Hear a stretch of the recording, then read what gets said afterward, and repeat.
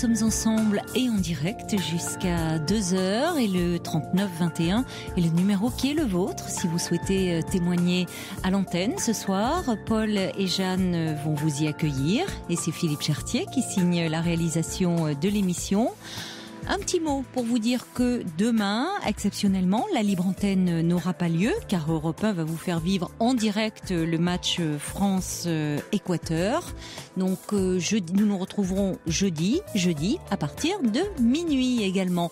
Et vous le savez, vous pouvez aussi me faire parvenir vos messages par mail sur le site europe1.fr ou par SMS au 7 39 21 en commençant votre SMS par le mot nuit. Europe Caroline Dublanche. Un petit message à l'attention de, de, Sally avant de donner la, la parole à, à, Françoise. Sally qui, je le sais, est à l'écoute tous les soirs pour vous dire de ne pas hésiter euh, à m'appeler euh, si vous pensez que cela peut vous faire du bien et que, que vous ayez un petit accent ne pose vraiment aucun problème dans cette euh, libre antenne, rassurez-vous. Bonsoir Françoise. Bonsoir Caroline, Bonsoir. merci de m'accueillir. Mais je vous en prie. Alors, vous avez envoyé un, un mail et, et, vous êtes vous traversez une période euh, un peu compliquée, un peu difficile, je crois. Oh, oui. Un peu pas très confortable le, et assez oui. paradoxal à la fois. Mmh. Qu'est-ce qui se passe euh... Euh, C'est surtout, je crois, un problème de, de solitude et de mal-être.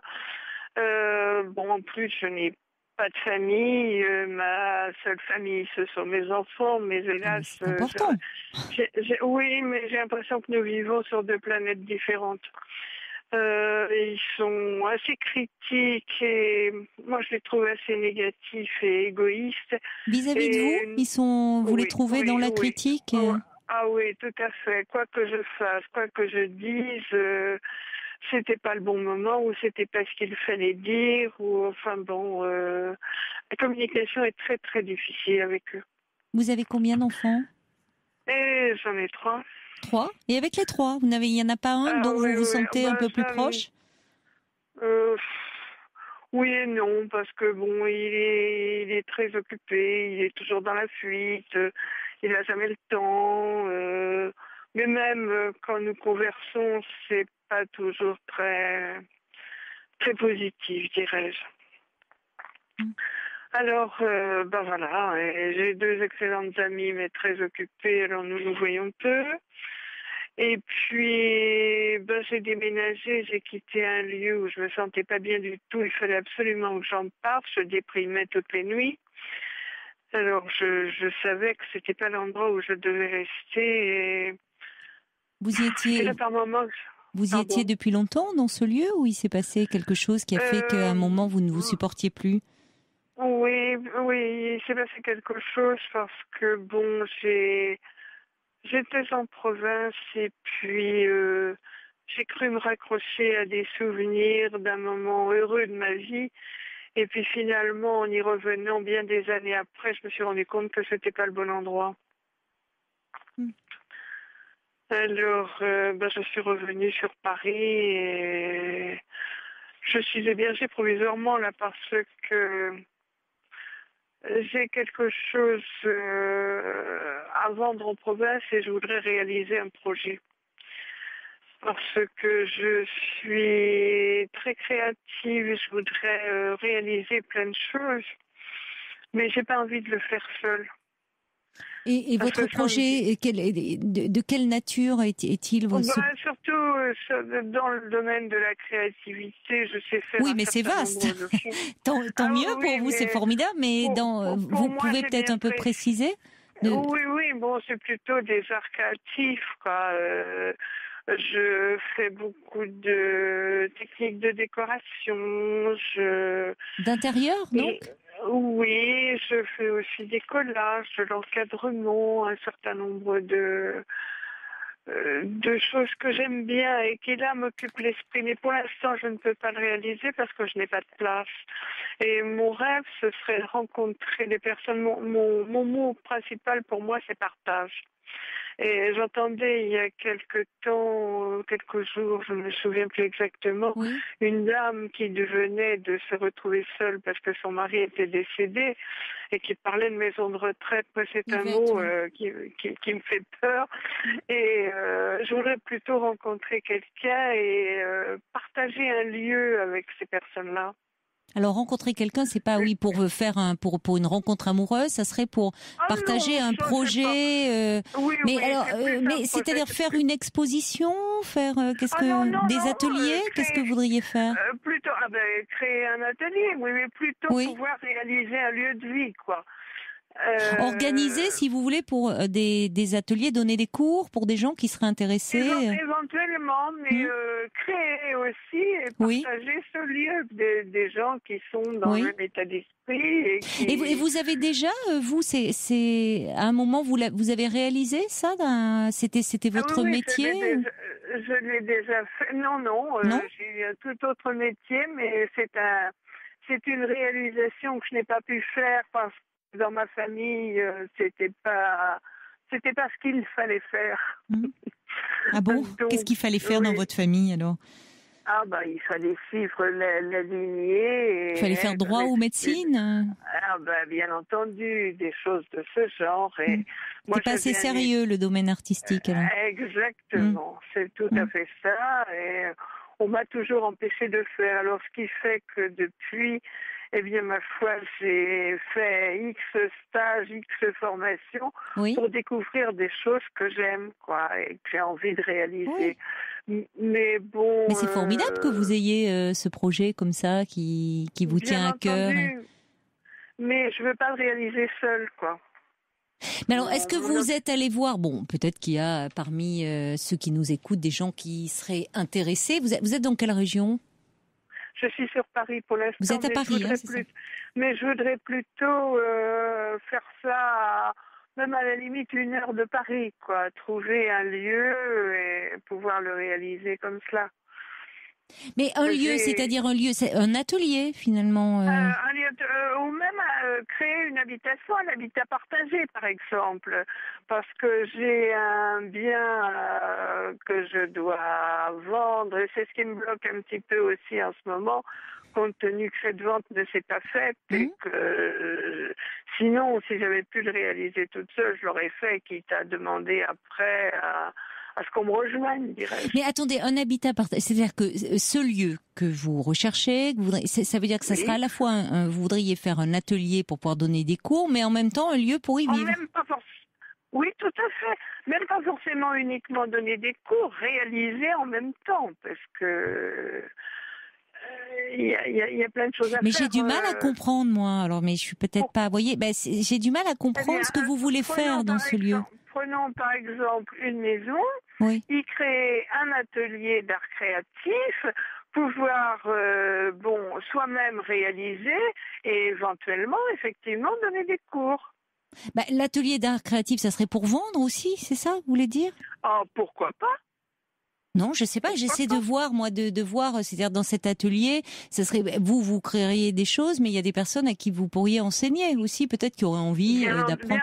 Mais Et, et, pourquoi finalement, qu'est-ce qui fait que vous vous rapprochez pas à ce moment-là des municipalités? Vous dites, vous avez déjà en tête, peut-être vous éloigner, être à une heure de Paris. Vous avez pris contact avec certaines municipalités eh pour. Je, euh, je crois que mon problème est là actuellement. Je me sens tellement seule que je euh, j'ai besoin de partager pour avoir toute l'énergie nécessaire. En ce moment, je tourne un petit peu en rond parce que justement, euh, je suis dans cette énergie qui me manque. Oui, mais alors il faut peut-être vous faire aider, avoir un petit coup de pouce aussi là-dessus. Et pas seulement, j'entends ça, c'est vrai que c'est plus facile, hein, je suis d'accord avec vous, de réaliser des choses, euh, déjà quand on est deux, euh, euh c'est plus stimulant, euh, ça crée une dynamique.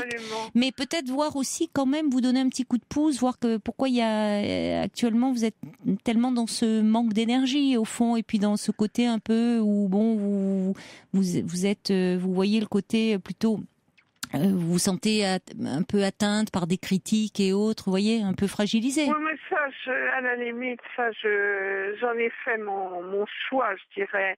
Euh, bon, qu'on me critique, bon, bah, euh, c'est plus mon problème. Euh, ce que je veux être dans la rencontre et pouvoir euh, réaliser quoi. Alors il y a Clément qui dit ben, est-ce que pourquoi ne pas regarder déjà aussi sur internet les associations qui existeraient autour de, che- de, de chez vous qui qui vous correspondraient afin peut-être d'y rencontrer des personnes? Ça pourrait être aussi un moyen d'entrer en relation Oui, oui, tout à fait. J'ai déjà pris certains contacts et euh, je sais pas, ça, ça bouge pas quoi. Et moi qui suis dans dans, dans l'envie de réaliser un peu, plus on vieillit, plus on a envie que ça se fasse rapidement quoi. je peux vous demander votre âge? 70. 70. Bah, moi, je trouve ça formidable hein, qu'à 70 ans, vous ayez ce, ce projet et qui, en plus, est dans la création. Donc, euh, Oui, tout à fait. c'est vrai que le, le fait de pouvoir, euh, c'est- toute cette énergie qui se trouve bloquée euh, en ce moment, ça pourrait repartir. Il faut une impulsion, alors une rencontre, mais mais parfois, vous savez, on n'a pas l'énergie d'aller au devant. Enfin, vous l'avez fait euh, déjà en envoyant un mail à l'émission, de, oui, d'entreprendre une démarche. Et j'espère que ben, ça, vous savez. Euh, les petites gouttes d'eau euh, forment des rivières et qui vont dans les océans. Hein, donc peut-être qu'il y aura une, suite, je l'espère pour vous. Mais c'est vrai que parfois aussi, quand on a quelque chose comme ça qui nous tient à cœur et qu'on n'arrive pas à le réaliser, c'est qu'il y a quelque chose qui bloque et c'est important bah, déjà Bien évidemment, je sais bien, parce Voilà. que de toute façon, c'est un domaine que je connais. voilà, J'ai même eu une pro- ma propre association, donc j'ai déjà fait plein de choses euh, euh, pour aller vers les autres, quoi. Mhm. Euh, mais bon, j'ai vécu une période très difficile euh, en fin d'année et je crois qu'il y a eu ce, ce blocage d'énergie et il a fallu que je change de lieu pour euh, justement euh, vivre autre chose. Oui, mais vous n'êtes pas forcément mieux dans ce nouveau lieu, si j'entends bien. Enfin, Euh, ben, C'est-à-dire que tant que j'aurais pas réalisé euh, et trouvé l'endroit exact où je peux être, mais ça, bon, euh, ça peut se décider à plusieurs, quoi. oui, mais pour ça, il faudrait que votre projet soit un peu plus précis. Vous voyez, peut-être pour euh, déjà savoir en termes de lieu. Alors c'est vrai qu'après, il y a souvent, dans la vie, c'est ça, la vie est faite de rencontres, d'échanges. Mais c'est vrai qu'il y a des périodes de la vie où c'est plus compliqué. Il y a des moments où on est euh, très actif ou dans, dans une perspective où il y a beaucoup une vie sociale assez remplie où du coup on va rencontrer plein de gens et une personne va en amener une autre. Et puis il y a des moments où c'est plus compliqué parce que vous euh, n'ayant plus d'activité professionnelle étant vous le dites vous en souffrez d'ailleurs isolé trop isolé c'est plus difficile de nouer des contacts même si vous avez pris déjà euh, des renseignements auprès d'associations. Alors par le biais de l'émission, bah, vous lancez un appel et il y a peut-être quelqu'un qui ça. pourrait être intéressé. Mais qu'est-ce que vous recherchez? Vous dites euh, une personne, c'est-à-dire qui elle-même, euh, qui qui serait pas forcément elle dans dans quelque chose de créatif, mais qui aimerait euh, quoi euh, vivre ensemble. Quel type de profil? vivre ensemble dans un lieu, euh, ah bah, ça peut effectivement être quelqu'un qui n'est pas forcément dans la créativité, mais dans, dans une maison, par exemple, il y a différentes choses à faire. Même, euh, j'irais jusqu'à l'idée de créer dans ce lieu une chambre d'hôte. Ah ben ça se précise, voilà. Non mais je, parce que je me disais, parce que là, voyez, on, a- c'est- on pourrait dire, j'étais en train de me demander, mais bon, chercher une personne pour vivre avec quelqu'un, bon, euh, on trouve pas, Même- ça se trouve pas sous le sabot d'un cheval. Non, mais voilà, vo- votre personnes. projet s'affine. Donc, mais s'affine et en même temps, on voit bien que c'est encore assez flou. Vous parliez de faire un atelier, une chambre d'hôte. Enfin, alors après, ça peut s'articuler tout ça. Et moi, je trouve formidable qu'à votre âge, vous ayez cette envie là. Mais, Ah bah. mais à ce moment-là, euh, euh, parce que la juste, rencontre qui fera que. C'est vrai, c'est vrai. Mais je, je me demandais justement comment, pour vous aider un peu, lancer un appel, euh, euh, faire appel à qui? Ben, Les auditeurs qui auront peut-être envie euh, de Eh ben, d'en savoir un petit peu plus, d'en savoir un petit peu plus, pourront euh, euh, vous appeler, on transmettra euh, vos coordonnées. euh, voyez, euh, on vous transmettra pour ceux qui nous appelleront au, Bien- au 39 bien 21. volontiers. Parce que des appels de ce genre, Mm. euh, bon, je l'ai fait auprès effectivement d'associations Mm. ou de groupements qui existent déjà, Mm. mais je sais pas, j'ai l'impression qu'il y a une peur euh, de euh, quand on ne connaît pas effectivement. Bon, je le comprends à la fois. Non, je pense que le projet gagnerait encore à être, euh, comment dire, plus moins flou. Bah, Plus construit. sur blanc. Il est noir sur blanc pour moi, puisque j'ai déjà fait. Oui, mais peut-être pour vous, peut-être pour vous. Non, non, mais excusez-moi, euh, par, par des annonces que j'ai diffusées, quoi. Euh, et puis, bah, je m'aperçois que bon, les, les gens. Euh... Oui, mais ce que je veux dire, François, c'est qu'au départ, on parlait dans quelque chose de la création, un atelier, peut-être vous savez pas pour donner des cours, pour bon. Et puis finalement, on arrive à chambre d'hôte. Bon, et les deux peuvent euh, se mêler, hein. Euh, au contraire. Mais oui, mais si vous voulez, euh, pour qu'on comprenne mieux, c'est, voyez, il faut que vous-même vous, vous vous avanciez un peu. Il y a Yvan qui dit les maisons des associations pourraient quand même vous aider parce que c'est vrai que ça fourmille de, de gens qui viennent d'horizons très différents, qui ont des envies, euh, pas toujours encore euh, abouties, qui savent pas très bien comment les mettre en forme. Bon, en tout cas, vous avez lancé l'appel euh, ce soir sur Europe 1. Si on a des appels, si des, des, des personnes qui sont intéressées pour entrer en relation avec vous, on transmettra.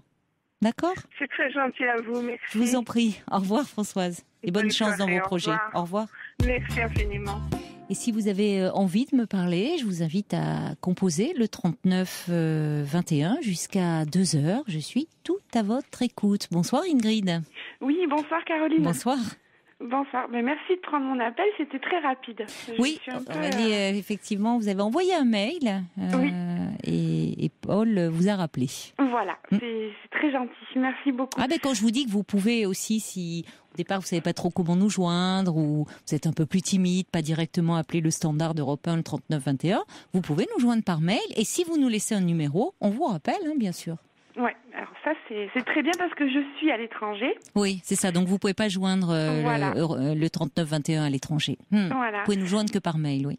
Exact. Donc euh, voilà, je suis très contente. Et euh, je vous avais déjà appelé une fois, bon, il, y a, il y a un petit moment de ça. Et là, je, je vous rappelle parce que je suis dans une euh, voilà, je, donc j'habite à l'étranger et mon je partenaire. peux vous demander où? Ou... En Allemagne. En Allemagne. Hmm. Voilà. Euh, et mon partenaire donc qui est français, donc il habite en France. On est ensemble depuis deux ans. Oui. Et euh, donc c est, c est, on se connaît déjà depuis très très longtemps, depuis l'école en fait. Euh, Parce que vous, vous êtes parti en Allemagne pour travailler? Voilà, je suis partie en Allemagne pour des études il y a très longtemps, oui. il y a 20 ans. Voilà. Oui. Donc, qu'est-ce que vous et pourquoi l'Allemagne des études en Allemagne? Des études parce que je faisais des études de langue et puis après euh, j'ai commencé à dans, enfin j'ai pris une autre voie, oui. euh, j'ai fait de la puis maintenant je suis dans la recherche. Voilà, j'ai j'ai fait ma vie euh, dans la, en Allemagne, j'ai recommencé des études. Euh, ce qui est ce qui est possible en Allemagne et donc je voilà je vis je suis très heureuse de vivre ici jusqu'à mes à présent enfin Jusqu'à présent, mais là, il y, y, a cette histoire, voilà, avec cet homme, donc qui lui est, voilà. est en France et que vous connaissiez depuis l'école, donc. Voilà, en fait, mmh. oui, voilà. Donc les choses, on était déjà ensemble quand on était adolescents. Enfin, ça, c'est, euh, voilà, c'est une belle histoire. Ah, c'est un amour d'adolescence. Voilà, qui mmh. est revenu. Et puis, euh, donc voilà, donc le but, bon, lui ne pouvant pas venir en Allemagne travailler, c'est à moi, euh, bon, ben moi, j'essaye de rentrer en France, voilà. Et donc depuis euh, bah, depuis quelques mois ou depuis huit mois on va dire donc j'ai passé des concours pour la recherche etc et j'ai oui. j'ai eu des bons résultats donc par exemple ils, pre, ils prenaient euh, bon c'était un peu plus difficile c'était difficile je j'ai pas je suis pas arrivée dans les deux premiers j'étais troisième ils en prenaient deux enfin bon, voilà oh là là qu'est-ce que c'est frustrant c'était voilà. ah ben, dans ce cas-là il vaut mieux se planter sur toute la ligne qu'à une personne près voilà, c'était un peu dur. Et puis après, ah les oui. euh, voilà, il y en a eu euh, quelques autres. Bon, pas non plus des masses, mais euh, parce qu'il n'y a pas des postes non plus toutes les cinq minutes. Et donc du coup, euh, donc là, j'avais postulé ailleurs. Et c'est oui. vrai que bon, là, j'ai reçu ce soir un mail comme quoi ça n'avait que je n'avais pas été invitée, alors que beaucoup de personnes m'avaient dit que j'étais une bonne candidate, très bonne. Euh, voilà. Donc, euh, peu importe la raison, euh, bon, ça c'est autre chose. Et c'est vrai que du coup, je suis déçue, donc j'en ai parlé à mon partenaire. Et c'est vrai que c'est quelqu'un, j'ai un peu du mal, parce que moi, je suis très déçue, parce que ça veut dire aussi, euh, c'est changer de vie que d'aller en France et à quitter mes amis. Donc, c'est un gros effort pour moi. Et en même temps, c'est une déception que ça marche pas c'est un peu euh, contradictoire peut-être, mais euh, voilà, j'ai envie qu'on vive ensemble et il a envie qu'on vive ensemble aussi. Et euh, mais je suis déçue et c'est vrai que que lui, c'est plutôt quelqu'un qui qui prend les choses comme elles viennent. Voilà, il me dit voilà, on, de toute façon, on peut rien faire d'autre, c'est comme ça, c'est la vie. Et j'arrive pas à, à partager ma, tri enfin, ma tristesse. Alors je me dis peut-être qu'il faudrait que je sois positive. Je me dis bon, bah c'est comme ça, il faut continuer, il faut rester positif. Ce que j'essaye, il faut relativiser, il faut pas dramatiser. Oui, Et mais puis, enfin, bon, euh... c'est normal que vous ayez un peu des, des coups de blues, des coups de mood, des, des moments euh, où, ça flanche un peu, enfin, où vous, en, vous vous lassez un peu, où vous trouvez le temps long aussi. C'est bien beau de rester positif, mais enfin, ça ne choisit pas toujours. Vous avez, vous l'êtes visiblement de façon générale, mais euh, c'est euh, la déception, voilà, sur le, sur le, enfin, c'est normal que vous l'éprouviez, je trouve. Oui, c'est ce que j'ai essayé de lui faire comprendre, que c'était normal, etc. Et c'est quelqu'un qui, bon, il pratique beaucoup, bon, il fait du yoga, la méditation, tout ça, donc vive le moment présent. Euh, euh, ne pas trop réfléchir, euh, ne pas trop se prendre la tête, on va dire, sur des choses, ne pas trop réfléchir. C'est vrai que je suis quelqu'un, je. Si c'est un maître yogi, euh, c'est vrai qu'on ne peut que s'incliner, hein, mais bon, tant mieux, tant mieux pour lui de prendre les choses comme ça, mais du mais c'est vrai que c'est dur après quand on discute parce que moi je suis quelqu'un qui a beaucoup de craintes, j'ai besoin énormément d'être rassurée, de savoir que l'autre m'aime, alors je suis très encombrante, je peux être assez encombrante aussi, j'imagine. Et, euh, bah, non, mais je vous comprends. Ça peut être aussi un peu énervant quelqu'un qui est euh, euh, dans, enfin, presque qui assène des, des propos de être dans le détachement, carpe diem, vivons l'instant présent. Bon, il y a des moments où oui, on aimerait bien, mais on n'y arrive pas. C'est tout. C'est oui, c'est vrai. Voilà, le détachement. Ouais. C'est vrai que c'est quelque bah, chose de, je, pourrais le, lui reprocher de d'avoir ce détachement parce qu'on a l'impression. Non, mais lui, il y travaille. Ça veut dire qu'il essaie aussi s'il s'il fait du yoga, s'il fait tout. C'est que bien lui-même, il cherche aussi euh, à, travers ça des réponses. Enfin, il, il est. ça veut dire que c'est tout le monde a des moments euh, comme ça, des incertitudes, des craintes, des peurs, des moments de découragement. Enfin, je connais pas un être humain qui a pas des moments comme ça. Donc, c'est vrai que ça peut être un peu énervant de se trouver face à quelqu'un qui vous tient un peu, vous voyez, qui presque qui vous donne des leçons sur le savoir se détacher, savoir bon. Euh, il se trouve que vous êtes déçu, vous êtes déçu, c'est comme ça. Voilà. Et puis après, il y a cette attente, quoi. Je suis tout le temps en attente. Alors, en attente par rapport à quoi? De lui? Voilà, j'attends qu'il me dise euh, qu'il m'aime sans arrêt, qu'il me dise euh, voilà. Alors c'est peut-être parce qu'on est loin et c'est vrai que c'est un peu lourd à porter peut-être pour l'autre d'avoir quelqu'un qui est toujours en attente et que s'il dit pas les choses comme je voudrais qu'il les dise, euh, après j'ai l'impression de pas être aimé, de, que que les choses se terminent alors que c'est pas le cas. Mais tout de suite pour moi je me fais mes gros films et ça fait combien de temps que vous êtes ensemble Vous m'avez dit? Ça fait deux ans. Deux ans oui, ça fait deux ans et c'est quelque chose que j'ai déjà avec d'autres personnes, avec d'autres, avec d'autres hommes en fait. C'est, Vous avez toujours besoin d'être rassuré sur euh, les sentiments de l'autre, même s'ils sont euh, proches de vous géographiquement. C'est pas, c'est pas uniquement lié à cette euh, relation à distance. Qui peut... Je pense que ça l'accentue peut-être oui, certainement. pas tous les jours, mais mm. de temps en temps, pas toujours parce que c'est quelqu'un quand même. Je je, je, lui fais confiance. Enfin, c'est pas une question de confiance. Euh, J'ai pas peur qu'il aille euh, voir quelqu'un d'autre, etc. C'est plus euh, euh, la peur que l'autre s'en aille d'un coup, qui, ou alors qu'il m'aime plus tout à coup, etc. Et c'est bon, c'est quelque chose que je travaille en thérapie parce que vous je, savez sais un peu d'où ça vient. Vous savez d'où ça vient Oui, je sais mm. d'où ça vient puisque bon, je mm. pense c'est lié au, à la séparation de mes parents que j'étais toute petite, mon père est parti, j'étais toute petite et, et donc. Et vous ne l'avez pas revu si, si, je l'ai revu, il est revenu, j'avais trois ans à peu près. Vous hmm. voyez? Donc il, il, est revenu me chercher euh, tous les tous les 15 jours, etc. Mais vrai qu'on n'a pas une relation, on a une bon, on a une relation, ça va, mais je je me suis jamais vraiment senti acceptée ou senti. Euh... C'est pas quelqu'un qui qui vous a rassuré, qui vous a non pas du tout. Et je pense que ma maman n'a pas pu non plus vraiment me rassurer hmm. quand j'étais hmm. petite parce qu'elle avait 20 ans. Euh, quand elle m'a eu, il y a neuf mois, elle s'est retrouvée toute seule avec une petite fille. Et donc ça a dû être difficile pour elle, oui, à vivre. voilà. Donc je pense qu'elle n'a pas trop trop pu me rassurer. Et, donc, c'est des choses que j'essaie d'expliquer à mon partenaire. Oui, qui viennent de loin. Oui, qui viennent de loin, que vous ne, enfin, euh, des angoisses, des peurs très archaïques finalement. Voilà, pour expliquer mon comportement. Mais et ça aussi, c'est ça va pas parce que pour lui, euh, bon, tout à l'heure, il m'a dit euh, oui, la psychologie, etc.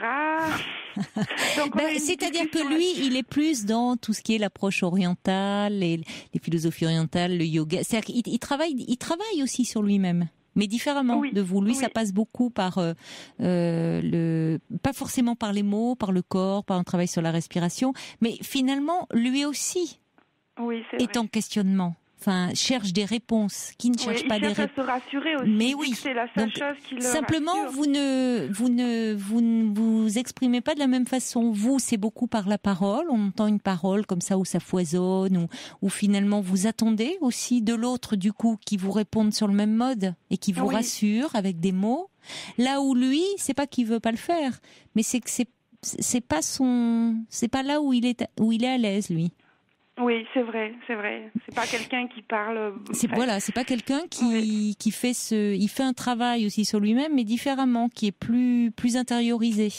Hmm. Cela dit, c'est vrai que c'est bien que vous puissiez vous euh, travailler vos, vos peurs, vos angoisses euh, d'abandon, cette insécurité que vous avez finalement en vous, hein, très profonde, En, en, thérapie pour ne pas quand même la faire trop peser sur euh, sur votre relation et être trop en demande par rapport à cet homme parce que et vous le vous le savez vous le savez mm. bien au fond que à force de demander à être réassuré en permanence, en, demandant à l'autre est-ce que tu m'aimes, ou il y a de multiples façons de, de dire d'être parce qu'on Mais ça, je le demande, c'est terrible.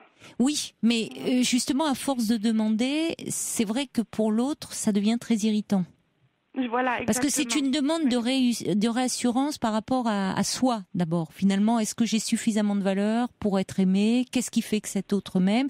Et à force finalement de d'attirer le euh, sur soi, euh, se dire mais de, douter. Enfin, y a, parfois c'est contagieux et, on se prend en retour euh, bah, de l'agressivité ou l'autre qui finit par dire oui finalement il a raison. Pourquoi est-ce que je l'aime vraiment? Enfin, c'est jamais très bon d'être en d'être en de, quêter. Mais vous le savez, mais je sais que vous... J'essaye, j'essaye, mais euh, des fois les mots me sortent et euh, voilà, je me, des fois je me fais des papiers pour ne pas justement poser des questions aussi stupides. C'est même pas stupide. C'est pas stupide, c'est votre angoisse. non, non, c'est pas, ça n'a rien à voir. C'est pas stupide du tout, Ingrid. C'est que simplement vous êtes angoissée. et donc il y a cette insécurité chez vous qui remonte à votre toute petite enfance, quelque chose de très hum, euh, je veux dire, qui était même avant le langage, puisque si j'ai bien compris, euh, votre votre votre maman s'est retrouvée euh, avec un bébé de 9 mois sur les bras, avec vous, petite fille, et puis bah, son son amoureux parti dans la nature. Et elle, toute jeune femme. Donc, non seulement vous avez certainement pour elle cette période-là a dû être très difficile à vivre. Oui, et, et source de beaucoup d'angoisse. Et on sait que les bébés sont de véritables éponges à émotions. Donc il y a des choses qui, lorsqu'elles se passent comme ça très précocement chez le tout petit, justement à un âge où il n'y a pas le langage, ça s'inscrit, ça s'inscrit dans le corps, ça s'inscrit euh, véritablement, et d'autant plus qu'il n'y a pas la possibilité de mettre en mots. Mhm. Le bébé, il a que ses pleurs pour pouvoir euh, s'exprimer. Hein. il pleure, il bon, il manifeste son son, son mal-être de cette façon, le fait qu'il y a quelque chose qui le perturbe. Donc c'est vrai que vous faites une thérapie par la parole qui va vous permettre de de, de, de euh, remonter sur, sur tous ces, ces, ces, ces traumas-là, mais c'est vrai que ça peut prendre un peu de temps, mais c'est déjà important que vous soyez consciente qu'à force de trop demander, vous risquez de, euh, finalement d'être pesante pour euh, pour votre partenaire. Il y, a Cathy qui dit vous allez devenir sa planche à clous, pas très confortable pour un yogi, mais ça lui fera les pieds, ajoute-t-elle. Bon. Le pauvre, bon. c'est pas mal, ouais. non, mais c'est vrai. Mais tout à fait. Donc, j'en ai conscience. Donc, mm. je sais déjà un premier oui, pas, c'est déjà oui, Oui, oui, oui. Euh, mais en fait, après, donc, quand j'essaie d'expliquer, euh, parce que voilà, mm. mais après, tout de suite, bon, ils pensent que euh, c'est pas prouvé, que euh, que qui est-ce qui a prouvé? Parce que c'est un scientifique en plus. Hein, alors, ah. c'est pas prouvé que que ce qui se passe au plus jeune âge des enfants, que ça a une influence euh, telle, etc., que qu'est-ce qui a prouvé ça, etc. oui, donc euh, lui, tout ce discours, enfin toute cette approche euh, psychanalytique, ça ne lui parle pas du tout. Non, il, oui. il pense mais que ça sert à rien. Euh, oui, euh, mais il, veut des preuves. Chez moi, ça sert à rien. Mm. Mais pour lui, euh, il a eu, des, il connaît des personnes, que ça fait des années, des années qu'ils font une thérapie, que ça sert à rien, qu'elles sont en souffrance. Elles continuent à être en souffrance. Alors, de l'extérieur, il y a toujours des gens pour dire ça, dire mais je comprends pas. Euh, oui, cette personne est depuis des années en analyse, et puis elle, elle, elle souffre. Ou mais on voit ça de l'extérieur, elle continue à souffrir, mais on ne sait pas ce qui se serait passé si finalement elle n'avait pas fait cette thérapie. Hmm. Peut-être qu'elle serait même plus là pour pouvoir euh, en parler. Mais moi, Hein, je Il y a des personnes qui démarrent une changé- thérapie dans un état d'urgence. Et puis, vous savez, de moins en, enfin, c'est de moins en moins vrai parce que maintenant, avec euh, les, je vais dire avec les neurosciences, on voit aussi beaucoup à quel point, à travers les, les, les IRM, à travers ce qu'on, ce, le, le fonctionnement du cerveau nous échappe encore beaucoup. On connaît que je ne veux pas donner de chiffres, Oui, parce que je suis pas douée dans les chiffres, mais finalement très peu, ça reste encore très énigmatique le fonctionnement de notre cerveau. Mais à travers des IRM, on voit à quel point des, des, des émotions, des choses vont se loger, sont logées dans notre système limbique, et à chaque fois, et, et finalement, un trauma peut réactiver ce, ce, ce, ce système-là. Et il y a des choses qui restent stockées véritablement en, en mémoire. Donc, on apprend, si vous voulez, c'est pas d'ailleurs, ça peut être très complémentaire, et je pense que Freud, qui est le père de la psychanalyse, s'y, euh, s'intéressait beaucoup à, à déjà, alors ça n'existait pas les neurosciences à cette époque, mais avait une, une formation au départ, lui, scientifique, et je pense que tout ça l'aurait euh, énormément intéressé. C'est pas incompatible, mais ça montre que vous ne vous ne parlez pas le même langage tous les deux. C'est peut-être ça, alors. Ouais. Ça veut pas Ouais, dire que vous ne vous entendez pas bien. C'est-à-dire que ça ne vous tout. empêche pas euh, de vous aimer et de et, et, et de et, et de bien et de vous entendre malgré tout. Oui, bon, on échange là-dessus. Et puis c'est vrai que moi j'ai mon point de vue. Je sais que pour moi, ça, m'a apporté beaucoup. Il y a quelques, il y a, il y a trois ans, j'étais, j'étais pas la même que je suis aujourd'hui. Oui, j'avais pas conscience de certaines choses et ça m'aide à avancer aussi.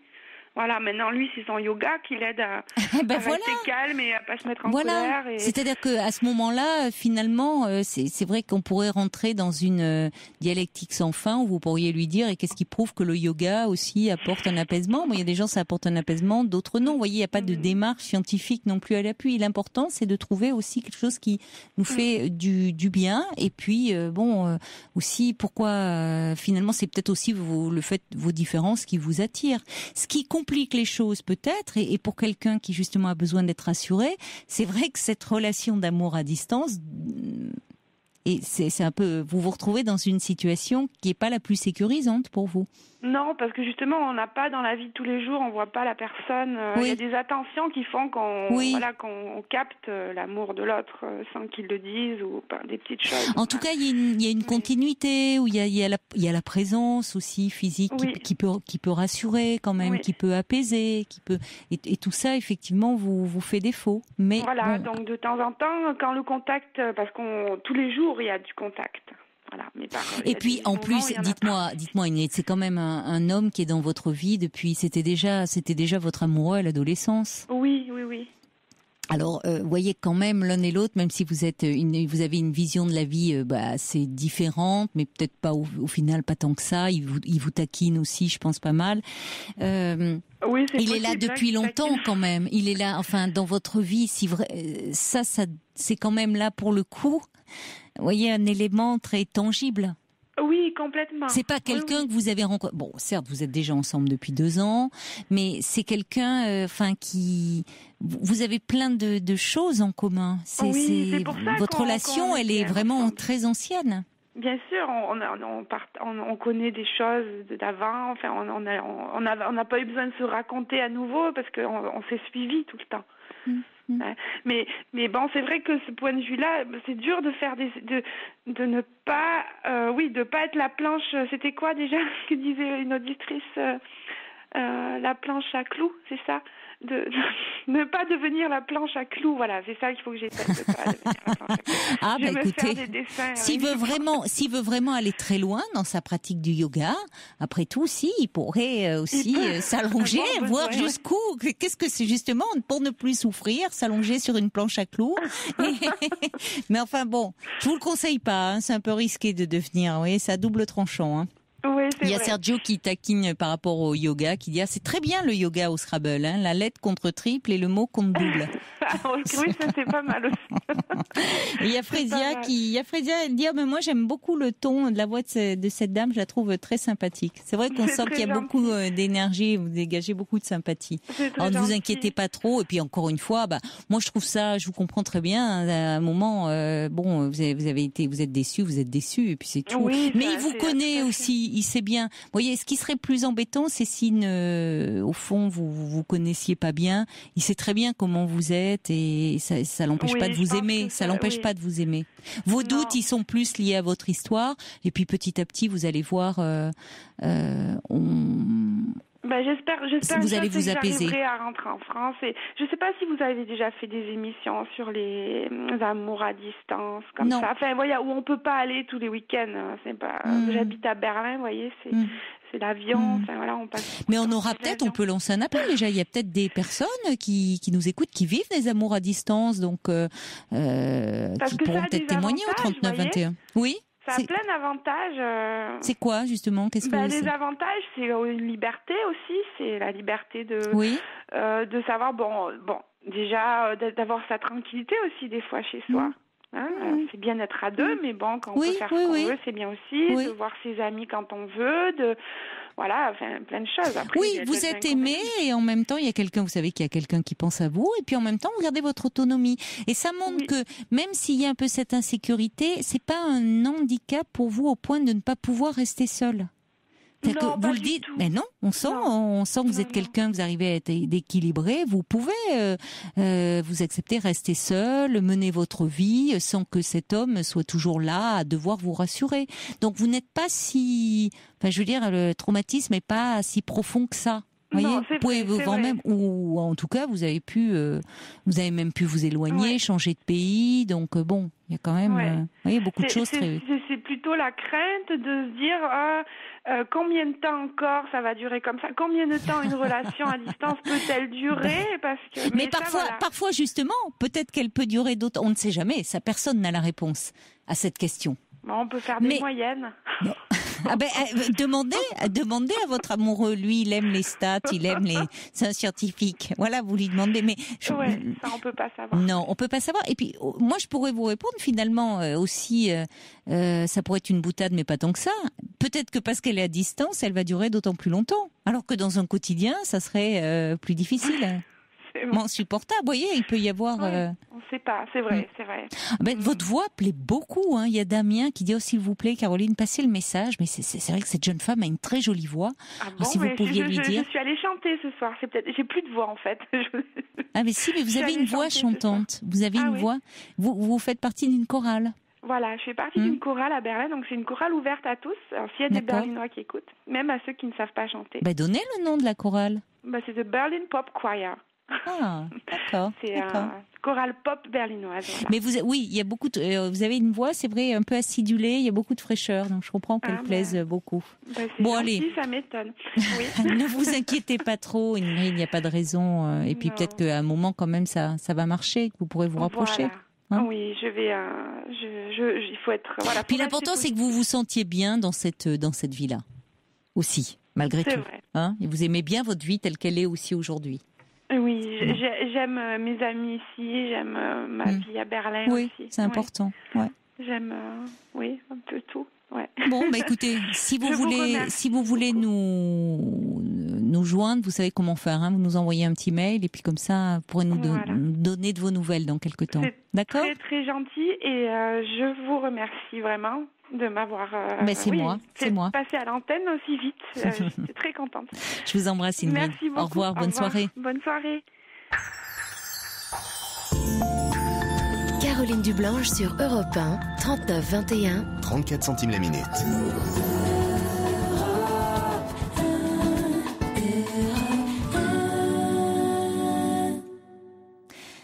Bonsoir Laure. Bonsoir. Bonsoir. Euh, je suis donc euh, une jeune de 33 ans. Oui. Voilà. Et euh, donc, plus jeune, je me suis scarifiée parce que j'ai eu une enfance difficile. Plus jeune, c'est-à-dire à l'adolescence, vous voulez dire? À l'adolescence, oui. Vers l'âge de 14-15 ans, j'ai commencé mmh. à me scarifier. Mmh. Donc, bah, c'était me faire mal, etc. Et après, c'est allé plus loin parce que ben, je piquais les rasoirs à mon père et je m'entaillais ou je trouvais toujours une solution pour dire de faire ce qu'il fallait, quoi. Et au final, euh, j'ai rencontré un, ami qui s'est rendu compte quand on s'est vu euh, dans une ville du Nord, parce que j'y habite plus, que je me scarifiais. Et ça, c'était mon meilleur ami. et ça l'a profondément choqué, m'a laissé en plan, carrément. Il est parti.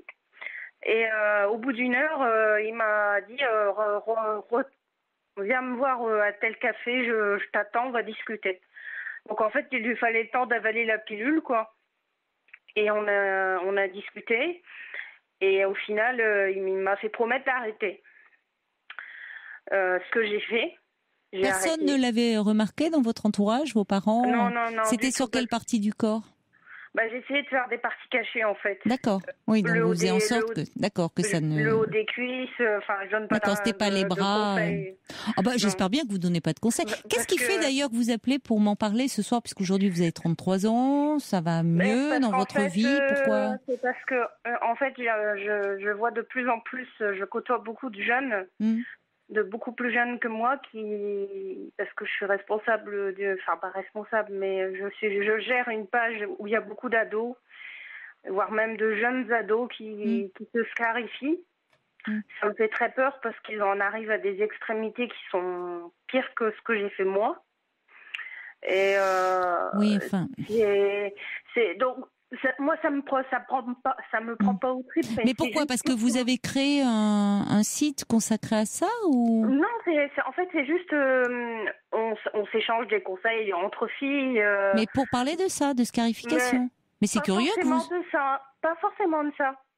Ça peut être du, de, on, on peut parler maquillage, on peut parler coiffure vraiment des trucs de d'ados, mais il y a des, des, ados qui sont en détresse, qui demandent notre aide. Ah oui, d'accord.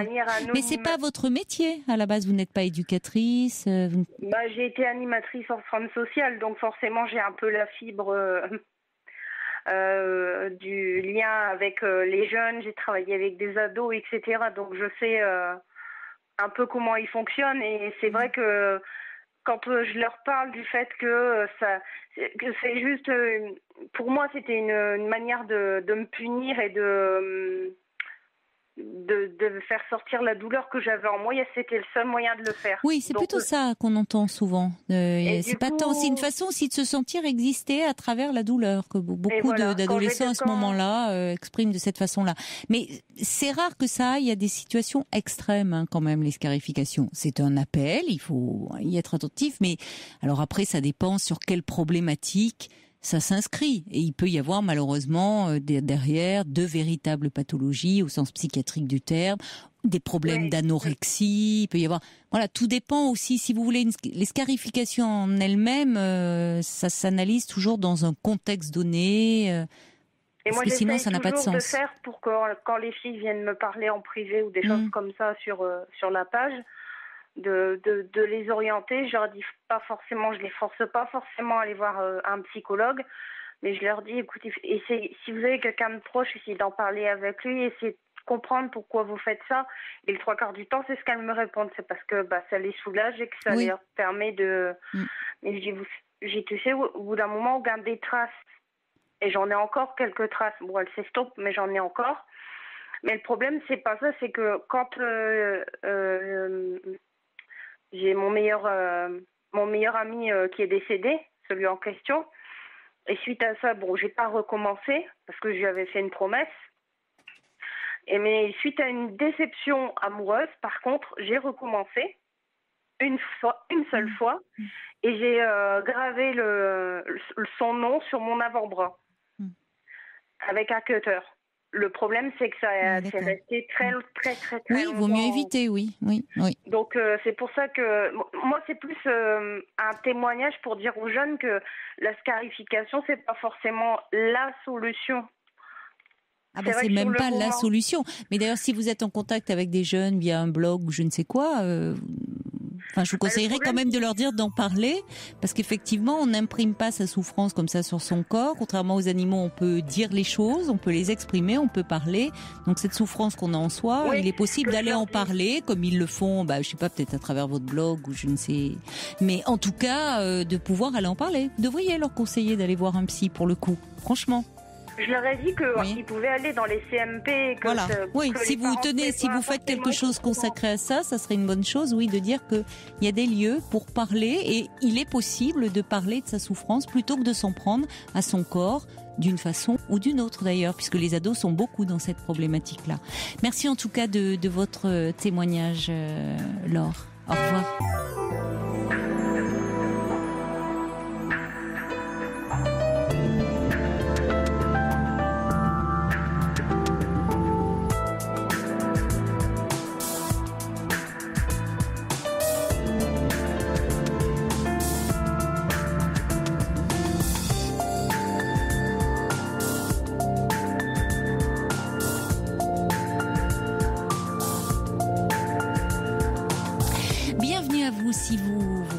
Sur Europe 1 et vous dites tiens, il y a libre antenne ce soir. Et oui, euh, comme toute la semaine, il y a des soirées consacrées à cette Coupe du Monde de football euh, dès 18h avec Nicolas euh, Poincaré, Bérangère Bonte, Michel Denisot.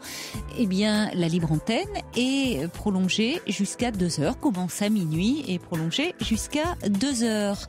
Demain, exceptionnellement, il n'y aura pas de libre antenne car Europe 1 va vous faire vivre en direct le match France-Équateur. Nous nous retrouverons donc jeudi à partir de minuit. Jeudi, ce sera également minuit 2 heures. Un petit mail de Fafa euh, qui réagit sur le témoignage de Françoise qui, euh, à 70 ans, fourmillait d'idées, d'envie en tout cas, de projets, un atelier de création, peut-être associé à une maison d'hôtes. Elle dit ah, quand j'entends François, j'ai l'impression de m'entendre dans cette quête créative et de recherche d'énergie. J'ai 50 ans, je vis seule comme Françoise, j'ai envie de créer, de bidouiller, j'ai pas de place chez moi, j'ai de suite compris son idée dans sa recherche de partage dans un lieu de vie créatif, mais pas comme moi ma chère Fafa, ouais, vous avez été plus vite, plus créatif pour le coup. Pas un lieu où l'on donne des cours, mais une sorte d'atelier commun où l'on peut bidouiller avec le plaisir d'être à plusieurs et pouvoir aussi stocker ses affaires. Eh oui, moi j'ai tout compris avant vous, me dit-elle, vous pouvez transmettre mon mail à Françoise si elle le souhaite, ben ça sera fait évidemment qu'on va transmettre vos coordonnées euh, à Françoise. Euh, Georges nous fait une petite pointe d'humour par rapport aux scarifications. Il dit ah parfois, il dit moi j'ai quelques souvenirs de petites scarifications dans le dos qui pouvaient être agréables. Bah oui, bien sûr. Après une nuit torride, ça n'a pas du tout le même sens dans ces cas-là. Dans ces cas-là, on veut bien, mais c'est pas nous-mêmes. On peut être scarifié un peu par l'autre, c'est vrai. Vu comme ça, c'est déjà plus agréable. Hein. Allez, on va hum, accueillir maintenant euh, Nathalie, je crois, qui est avec nous. Bonsoir Nathalie. Bonsoir Caroline. Bonsoir. Moi aussi, je vous écoute euh, beaucoup, beaucoup le soir. Je m'endors toujours tard. Et ce soir, exceptionnellement, exceptionnellement, oui. Euh, j'apprends que vous dites euh, exceptionnellement, donc vous avez déprogrammé euh, c'est vos directions qui les Moi, j'écoute beaucoup Europe, j'aime beaucoup Europe. Alors ce soir, donc vous nous dites maintenant, oui. j'allais m'endormir et j'ai appris que vous déprogrammiez. Oui. Vous Alors, non, non, non, j'ai pas. On, on, ne déprogramme. Non, non, on ne déprogramme rien, euh, Nathalie. C'est euh, cette toute cette semaine. Il y a une semaine consacrée à la Coupe du Monde de football. Donc l'émission, euh, si vous voulez, a été repoussée à minuit. Mais du coup, on va jusqu'à deux heures pour que vous ne soyez pas privé euh, de la de la libre antenne. Et demain, demain, effectivement, exceptionnellement, il y a le, le match mmh. France-Équateur. Et, et là, il n'y aura pas. seront là à l'écoute. Bon, enfin, écoutez, euh, en tout cas, ce que je, je vous remercie d'être là. Euh, vous décalez. Euh, je me suis trompée. en plus, Fifi me dit France-Équateur. Pardonnez-moi, Nathalie. C'est ce soir, puisque je dis demain, mais on est minuit, donc c'est vraiment, on est déjà donc mercredi 25, donc c'est bien ce soir. C'est très bien. C'est je trouve ça parfait. Un milliard d'hommes écoutent le match Bon, moi, ça ne me branche pas du tout.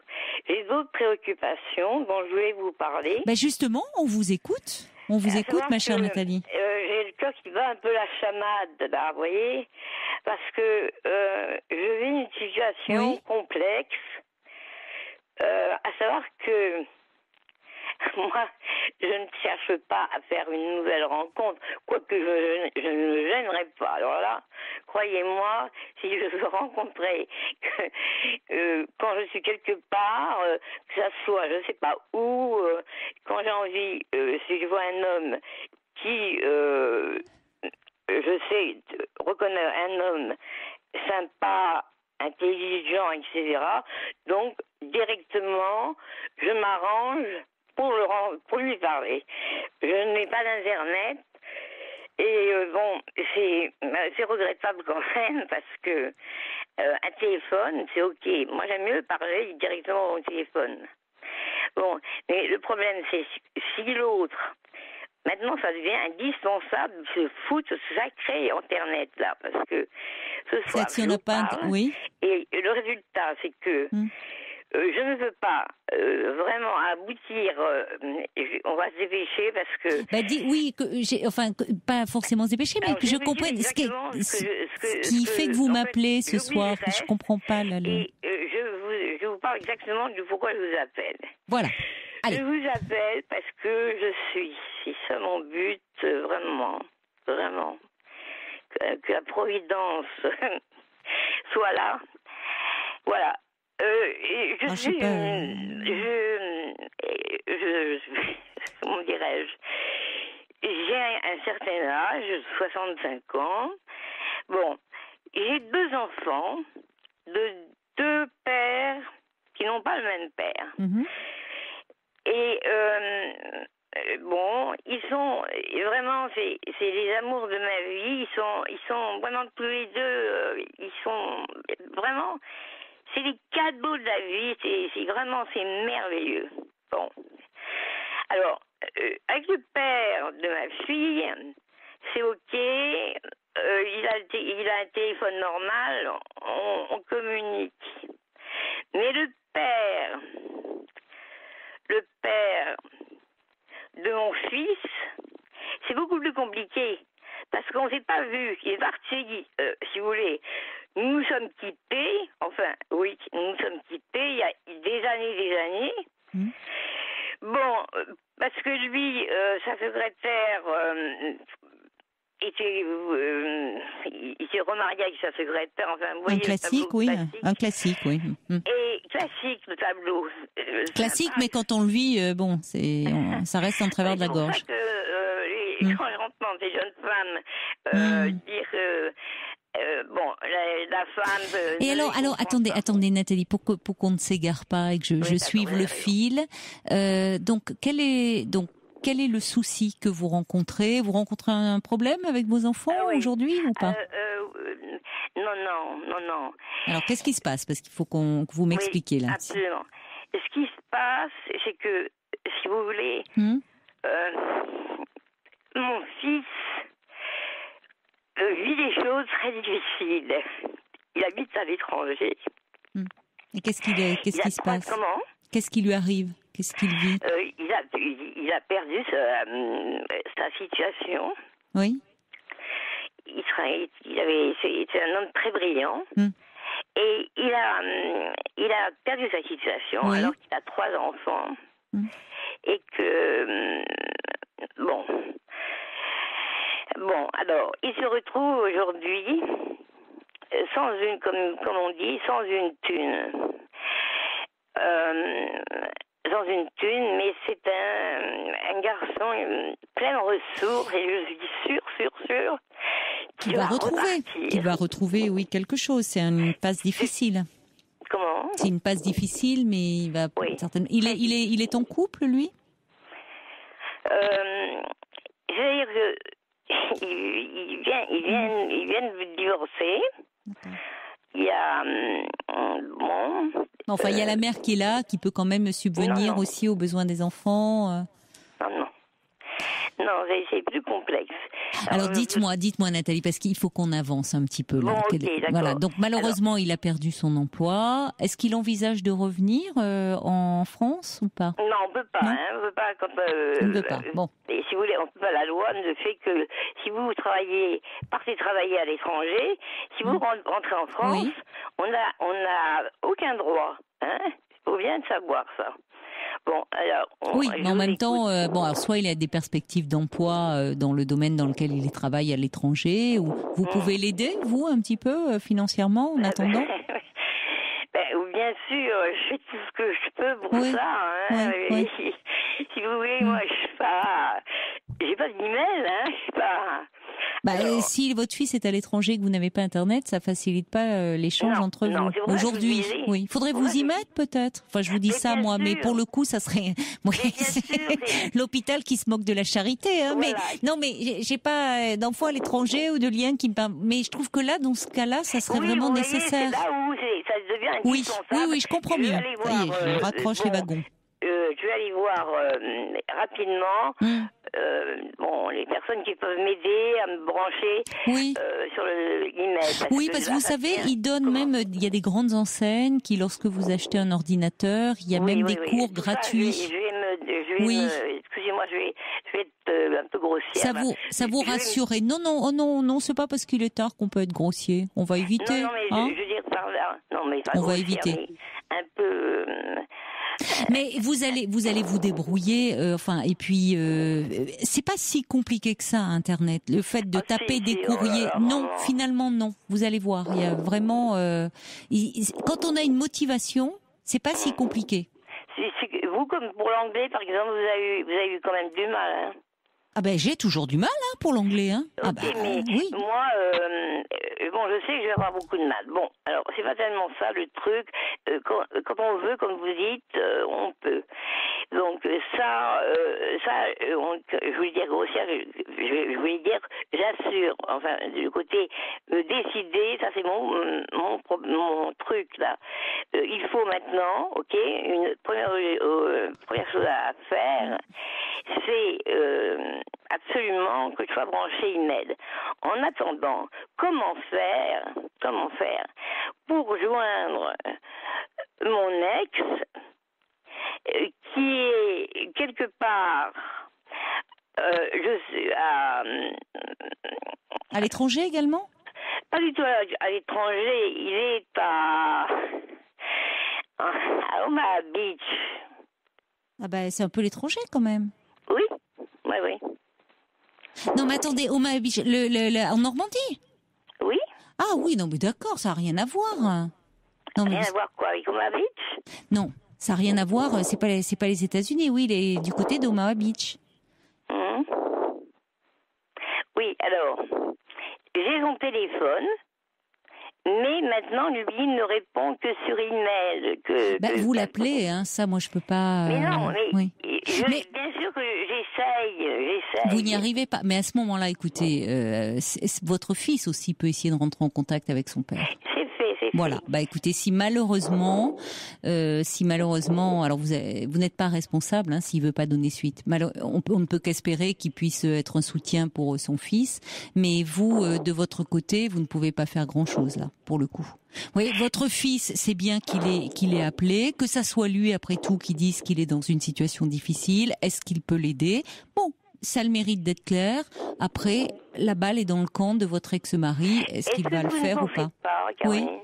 Est-ce que vous ne pensez pas, parce que j'en ai parlé avec d'autres amis, euh, on vous écoute et, et on, cause dans les chaumières, donc euh, bon, on aime bien avoir votre avis, mais est-ce que vous ne pensez pas quand même que quelque part, euh, essayez absolument mm. d'avoir un contact en direct, parce que la situation est sérieuse, que... avec lui, avec votre ex-mari je vous ai mal entendu là. Avec votre ex-mari, vous voulez avoir un contact en direct, c'est ça? Oui, oui, oui. Oui, mais est-ce que vous, vous ne vous n'avez plus de lien avec lui depuis combien de temps?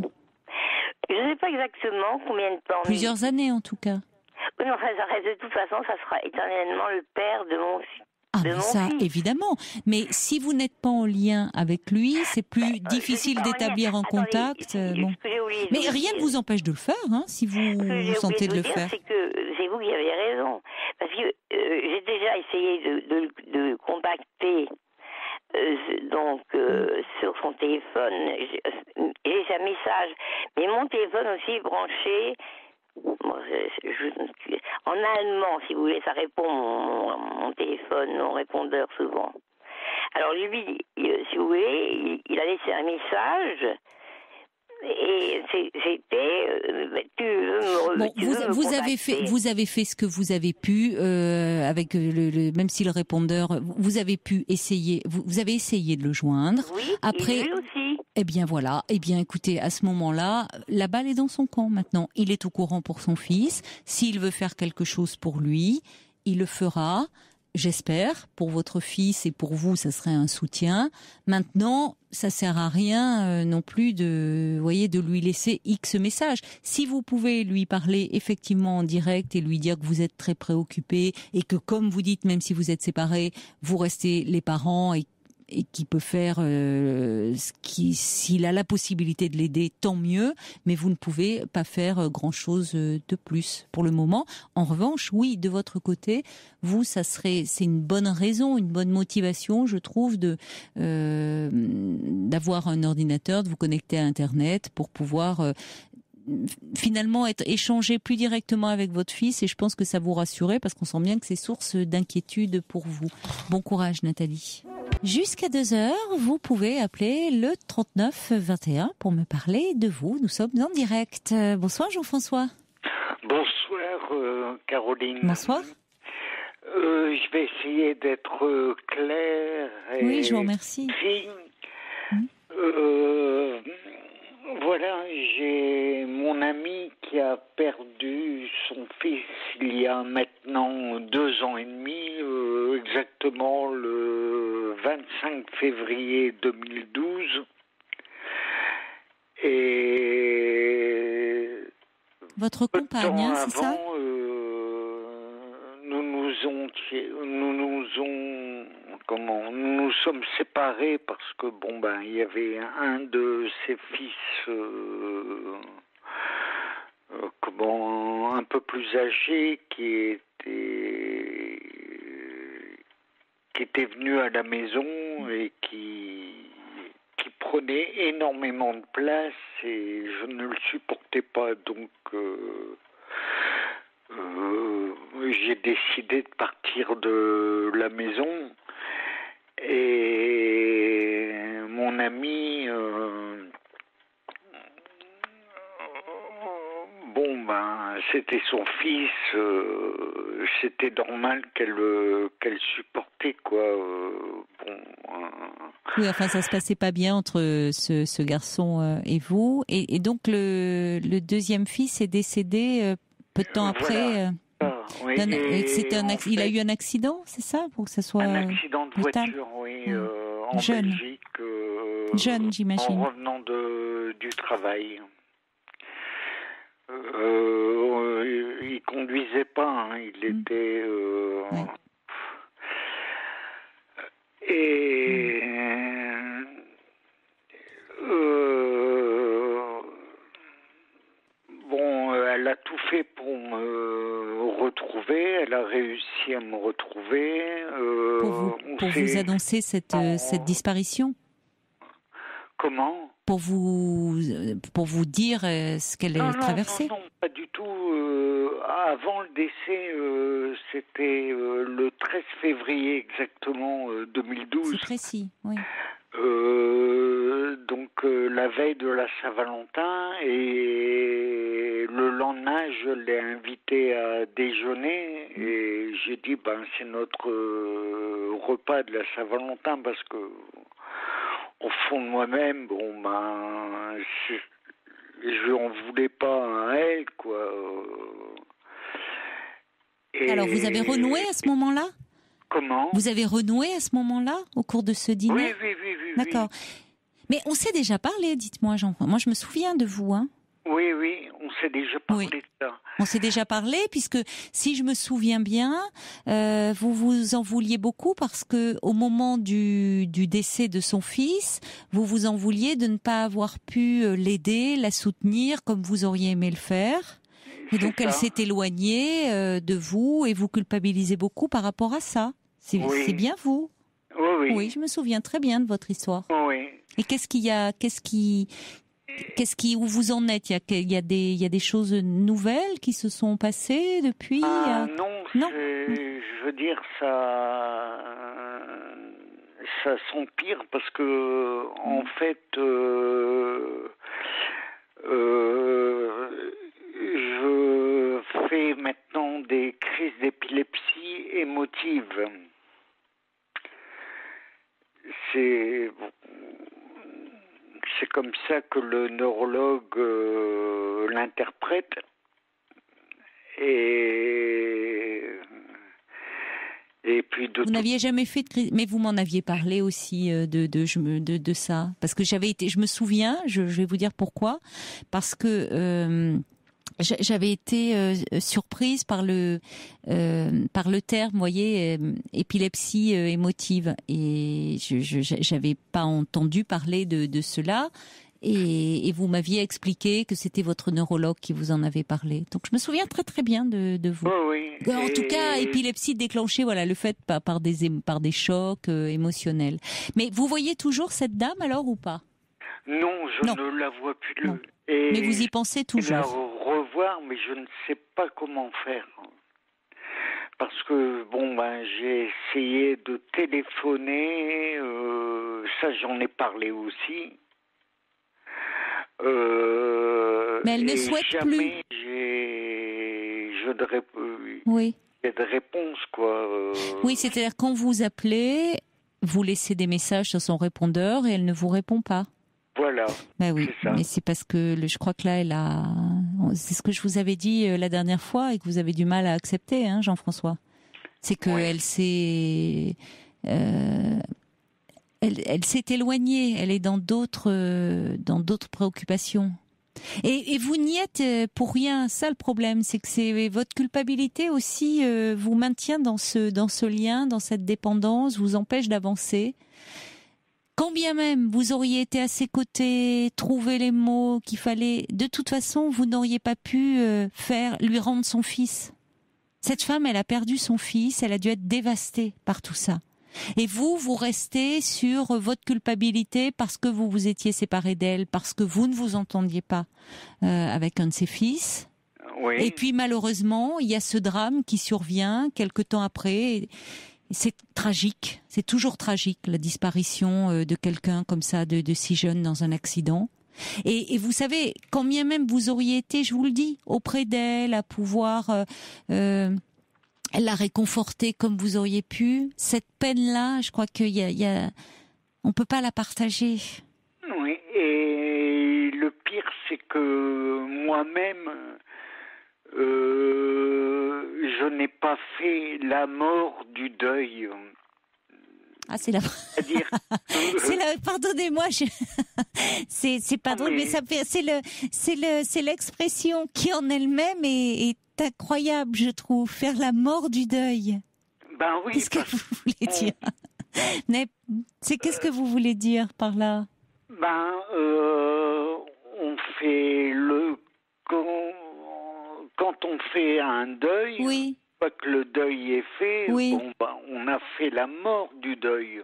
On lui tord le cou au deuil, ça y est, lui aussi le deuil et non mais c'est en même temps c'est une expression très parlante, je trouve. Euh, c'est à un moment oui vous voulez dire on peut en sortir et même le, cette période de deuil est, est, terminée et on peut vraiment être à nouveau dans la vie. En tout cas, euh, c'est ce que vous oui et vous vous n'avez mais finalement vous n'avez pas fait le deuil de quoi? Ou juste ou de qui ou de quoi vous pouvez... de de ce garçon. En plus, euh, Vous l'aimiez bien, lui. Vous l'aimiez bien, ce garçon. Voilà. C'était le fils dont vous vous sentiez le plus proche. Il y en avait un avec qui ça passait pas bien, et celui-là, vous vous entendiez bien. Et non seulement c'était le le le fils, le frère. Euh, euh, ça me fait penser à une chanson de je sais plus qui euh, que je n'avais jamais eue parce que j'ai eu deux sœurs, j'ai mm. eu trois filles, euh, j'ai trois filleuls, mm. j'ai travaillé avec des femmes puisque je travaille en mm. milieu hospitalier. Et vous n'aviez pas de crise d'épilepsie à ce moment-là? Euh, la première crise d'épilepsie, je l'ai faite euh, au moment de la séparation avec mon ex-femme. Oui, donc ça a été aussi provoqué par un, ce que vous viviez comme un traumatisme pour vous. Voilà. Et c'est depuis ça que vous prenez des antiépileptiques, j'imagine, aujourd'hui. Oui, oui, oui. C'est ce qui fait que ça ralentit beaucoup votre élocution. Oui. Oui. Oui. Oui, bah vous en êtes rendu compte, je pense vous-même. C'est ce traitement, le ah, neurologue a dû vous le dire, fait que l'élocution est plus, elle est plus, c'est plus difficile. C'est-à-dire que pour trouver les mots, c'est plus lent.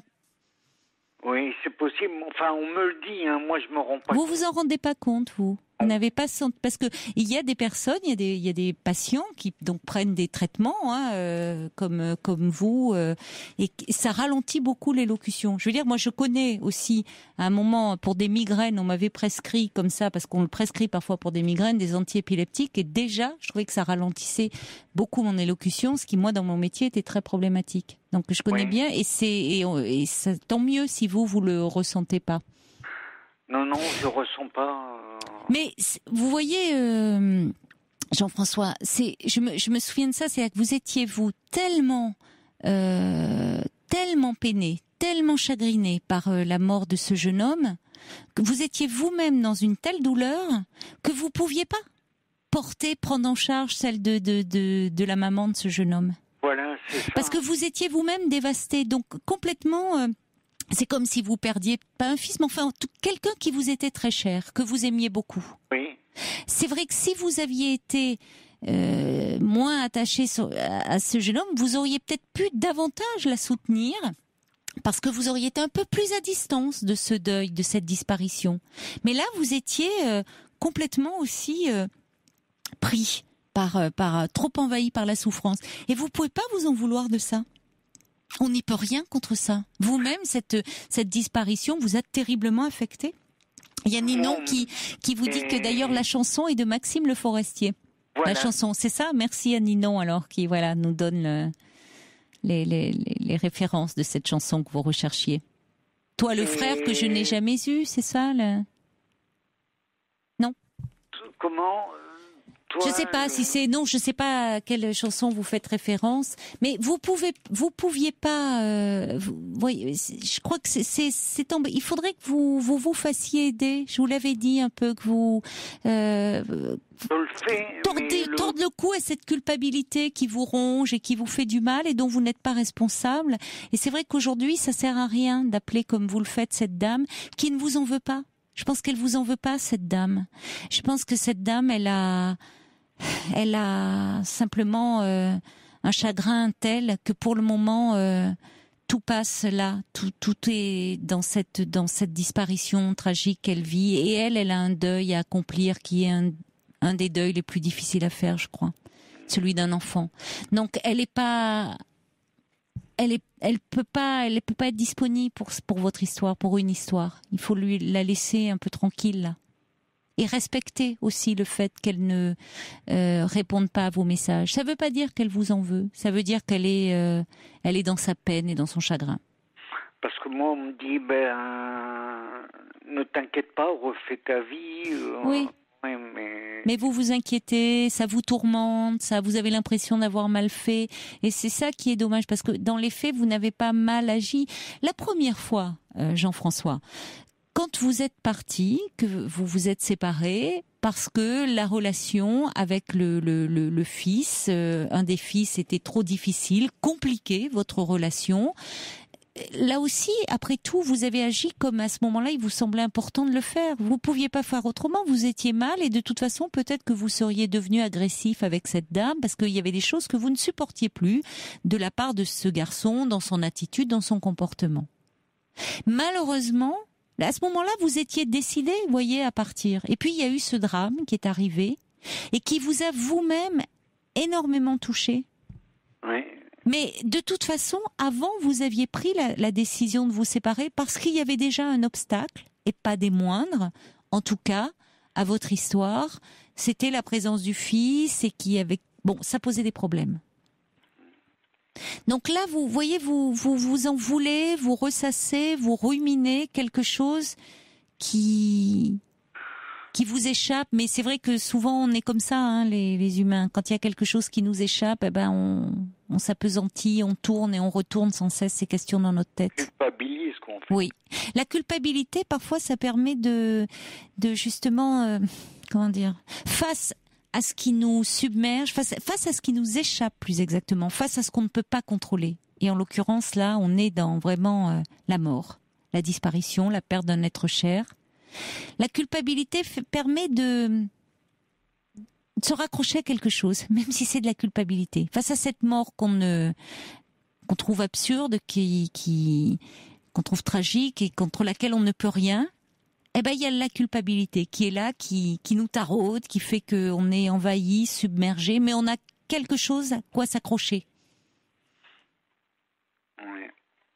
Alors peut-être euh, parce que effectivement, face à ceux qui sont pleins bienveillants vis-à-vis de vous et qui vous disent euh, il faut que tu avances, il faut que tu refasses ta vie. Bon, bah c'est bien beau. Hein. C'est comme quand on dit restons positifs, mais quand on n'y arrive pas, on n'y arrive pas. Ah oui. Peut-être qu'à ce moment-là, vous pourriez, puisque euh, en parler vraiment, voir quelqu'un pour justement vraiment en parler, quoi. Comme vous me le faites, puisque on s'est parlé il y a, j'ai pas la notion du temps, donc je vous dirai pas quand, mais je vois bien que vous êtes resté dans cette situation-là. Donc vous bloquez là-dessus, et ça serait peut-être bien de vous faire accompagner un peu au long cours. Vous pourriez demander à votre neurologue qui vous recommande les coordonnées d'un bon thérapeute. Et peut-être que ça vous aiderait à avancer et pas à rester comme ça accablé. Mais j'ai euh, comment euh, une psychologue, euh, une psychiatre eh ben alors il faut vous adresser à elle. D'accord? Vous vous adressez à elle et, vous lui en reparlez. Hein? Vraiment, ça vaut la peine. Je sors. Et vous irez mieux. Un quart d'heure après, hmm. le fardeau me retombe Oui, oui, oui. Mais peut-être à ce moment-là, demander à rapprocher un peu les séances. Parce que, comme vous dites, c'est un véritable fardeau. Je l'entends, je comprends. Et à un moment, ben, les fardeaux, il faut pouvoir le partager. Déjà, on s'en allège un peu au moment, le moment où on en parle. C'est vrai qu'après on le retrouve, mais vous allez voir que petit à petit, vous allez vous alléger. Je vous le souhaite en tout cas. Bon, bon courage, Jean-François. Au revoir. Au revoir. Bonsoir, Jeanne. Jeanne, vous êtes avec moi? Oui. Bonsoir. Bonsoir. Donc, euh, je vous appelle pour raconter un petit peu mon histoire. Euh, donc, euh, euh, j'ai été la maîtresse d'un homme marié pendant 11 ans. Et bon, au début de notre histoire, j'ai divorcé. Ensuite, vous étiez vous donc en couple quand vous l'avez rencontré cet homme également, hein, c'est ça? Oui, oui, il était en couple aussi. Hum. Et donc ensuite, au bout de 11 ans, il a il est tombé amoureux d'une femme. Autre que la sienne et que vous. Oui. Mmh. Et donc là, je, je suis tombée, euh, quoi J'étais très, très en colère. Ben, oui, ça a dû être terrible pour vous. Oui, parce que en fait, j'avais euh, quoi Je n'avais jamais rien dit, quoi, vis-à-vis de sa femme et ses enfants. Oui. Et donc euh, là, j'ai été très en colère. Mmh. Et donc voilà, donc euh, j'ai un peu euh, détruit un peu tout, tout ce qui était autour de lui. Donc euh, bon, il a été obligé de divorcer. Là que vous avez là contacté sa femme pour lui dire. En fait, j'ai contacté sa femme, oui, pour avoir son portable et pour lui dire ce que, pour savoir comment, pourquoi il, pourquoi il avait eu un tel comportement. Donc euh, euh, pour avoir le portable de qui Vous avez appelé l'épouse de cet homme? Oui, pour avoir le téléphone portable de lui. Vous ne l'aviez pas? Non. Ah d'accord. Non, non. Et euh, ensuite, pendant dix ans, donc bon, j'ai pensé souvent à lui. Et donc ensuite, je l'ai revu il y a un ou deux ans, quoi, plusieurs fois un ou deux ans, pendant donc les années 11, 2011, 2012.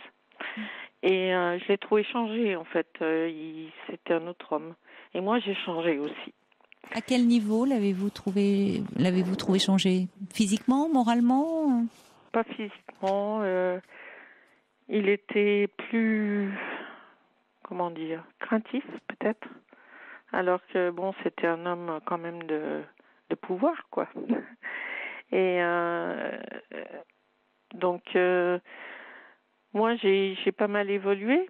J'avais pendant dix ans, donc bah, je pensais bien à lui. Et puis là, c'était c'était un peu calmé. Et puis donc, euh, je l'ai, je lui ai envoyé un mail pour savoir si comment il allait, etc. Et on est donc, euh, il m'a tout de suite répondu pour m'inviter à boire un verre, ensuite à déjeuner. Et euh, on est retombé euh, eh bien, dans les bras l'un de l'autre. Donc voilà, donc euh, je suis de nouveau sa maîtresse en fait. Ah oui. Après donc dix ans d'interruption de cette relation. Voilà. Et alors avec l'histoire qu'il a eue avec l'autre la femme dont il était tombé amoureux. Eh ben il est avec elle. Ah il a quitté sa femme. Il a quitté sa femme, il a divorcé, oui la colère euh, pour vous est passée, donc vous ne ressentez plus aujourd'hui, quand vous l'avez revu, plus de colère, euh, plus. C'est-à-dire qu'on s'est expliqué quand même. Donc euh, voilà. Donc donc c'est vrai, il est tombé amoureux d'une d'une autre femme et voilà et donc c'est ce qu'il m'a expliqué et donc on s'est on s'est expliqué tous les deux en fait. Et euh, eh bien, on est retombés dans les bras l'un de l'autre, comme si dix ans n'étaient pas passés, quoi. Et aujourd'hui, il est seul? Non, non, non. Oui, parce qu'il est, il est toujours avec cette, cette femme. Euh, il a quitté sa femme pour cette autre femme, là. Ça. Et il est toujours avec elle. Oui. Hmm. Donc, euh, bon, mon questionnement un petit peu, c'est de. Bon, depuis à peu près un an, parce que ça fait bon maintenant euh, un an et demi qu'on se voit, de façon très régulière d'ailleurs. Mhm. Donc euh, mon questionnement un peu, c'est de savoir bon euh, quelle est ma position quoi. Je veux dire, est-ce que cette relation me satisfait? Et en fait, bon, je ne je ne sais pas encore trop répondre en fait, même après un an et demi. Mais euh, bon, euh, ce que j'aimerais savoir, c'est savoir un petit peu des réponses euh, vis-à-vis de lui, quoi, de, de savoir, bon, comment est-ce possible, quoi. Je veux dire qu'il qu'il est de nouveau, qu'il soit de nouveau dans cette situation, en fait. Oui, et vous, par la même occasion. Parce que, que lui encore soit dans cette situation, après tout, c'est peut-être ça fait partie. C'est une bonne question hein, d'ailleurs parce que il y a des y a des personnes qui ne peuvent. Euh, enfin, c'est j'allais dire c'est plus fort que c'est c'est pas la bonne expression. C'est ça fait partie presque de leur fonctionnement. Ils ne peuvent mhm. être que dans des relations euh, euh, où hum, ils sont foncièrement infidèles c'est pas un jugement moral hein, que je porte. Il y a quelque chose qui euh, fait que, à partir du moment où ils ont un couple, une stabilité, euh, il faut qu'ils aillent chercher ailleurs. C'est souvent lié, après pour des raisons différentes, liées à leur mhm. histoire. Il y a un sens à tout ça hein, mhm. quand on se penche là-dessus. La question, finalement aussi, c'est certainement euh, donc ça, ça mérite. Oui, je comprends que vous vous interrogiez là-dessus parce qu'il y a un fonctionnement quand même particulier chez cet homme. La question, c'est que vous, vous repartiez dans une histoire où vous êtes euh, euh, à nouveau sa maîtresse, alors que c'est quand même un homme qui, à un moment, il a pu prendre une décision. Oui. C'est-à-dire que parfois les situations se prolongent comme ça. Euh, c'est-à-dire que deux, il a quitté son épouse quand vous étiez avec lui, mais pour une autre femme qu'il a épousée aujourd'hui Non, même pas. Enfin, qu'il a, épousé. Enfin, qui, d'accord, il l'a pas épousé. Donc, il fait euh, office. Enfin, c'est comme si c'était son épouse. Il vit avec, mais il ne s'est pas marié avec. Et vous, euh, vous vous retrouvez dans la position de la maîtresse. Peut-être que c'est la plus enviable finalement. oui, peut-être. Mais, euh, non, mais je, je, je, dis ça, c'est pas, je, je dis pas ça en l'air. Hein. Je dis peut-être que dans un type de fonctionnement, vous voyez, euh, comme ça, peut-être que euh, être la femme, l'officiel d'un tel homme, ça suppose euh, que vous pourriez, à votre tour, être trompé. Oui. Et en fait, euh, pour lui, euh, même quand il est, tombé amoureux de cette femme, c'est c'est lui qui me l'a annoncé. J'étais encore son amie et son sa confidente en fait, et presque son amante. Donc en fait, c'est un comportement assez, assez curieux quand même. Oui. Hmm. Et euh, effectivement, je pense qu'il a, euh, quand il a sa, sa, sa, son désir, le porte ailleurs. Quand il a sa, sa femme, qui, sa stabilité, un couple conjugal, mhm. marié ou pas. Euh, et peut-être que vous, vous êtes, et que vous aussi, cette position d'être dans la maîtresse, être la maîtresse, c'est-à-dire que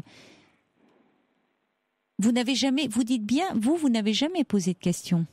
D'où votre colère quand, euh, par rapport à son couple officiel, lorsque vous étiez avec lui, il y a dix ans. Plus de dix ans. Euh, j'ai jamais posé de questions, c'est-à-dire que. Par rapport à son couple, vous n'avez jamais, plutôt, plutôt que des questions, pardonnez-moi, vous n'avez jamais revendiqué quoi que ce soit, si j'ai bien ah compris. Non, jamais. Voilà. Vous n'avez jamais revendiqué. Que, bon, hmm il avait des enfants et. Oui. Donc moi je respecte les enfants, donc il y avait, je voulais pas toucher ça. à tout ça. C'est ça. Vous ne vouliez pas briser son couple. Enfin, vous ne vouliez pas, euh, vous ne lui demandiez pas de faire un choix. Ce qu'a peut-être fait, c'est peut-être ce qu'a fait cette autre femme avec qui il est aujourd'hui. Je sais pas. Peut-être qu'elle, euh, voyez, avait une autre demande. Oui, oui. C'est possible. Oui. Aussi. Mhm. Et où finalement, dans ce trio, chacun s'y retrouve bien. Parce que chaque, non mais chacun joue sa partition euh, en fonction chacun sans comment dire même si par moment c'est pas sans tiraillement et sans souffrance. Mais il y a une partition, il y a quelque chose de l'ordre d'un inconscient là où chacun a un rôle. Oui, parce que quelquefois bon euh, effectivement donc on se voit très souvent quoi très souvent. Oui. Mais euh, bon c'est vrai que sa présence me manque quoi. Voilà. Mais bon, je sais que bon, euh, il reviendra quoi.